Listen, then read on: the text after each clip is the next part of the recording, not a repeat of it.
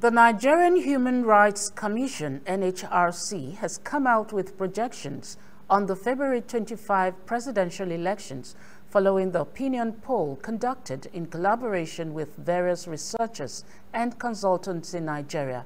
The NHRC poll revealed that the presidential candidate of the All Progressives Congress, Bola Tinubu, holds a magnificent lead and believes to win the 2023 general elections, while the second is between People Democratic Party candidate Atiku Abubakar and Labour Party candidate Peter Obi. Speaking in Lagos on Thursday, the General Secretary of the over 135 civil liberty and community-based organizations, NHRC, Taiwo Adeleye, said Tinubu leads in the four most popular states, Lagos, Oyo, Kano, and Borno, may have contributed to the lead. To be conquered.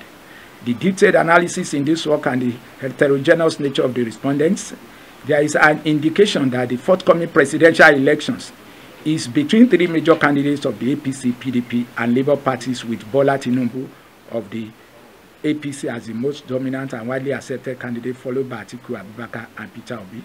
It is worthy of note, however, that the great states, that is Rivers, Kebbi, Bauchi, Plateau, and Katsina, which house largely undecided voters and indifferent incumbent governors who are too close to call could sway the outcome in favor of the presidential candidate who is able to harness their voting strength.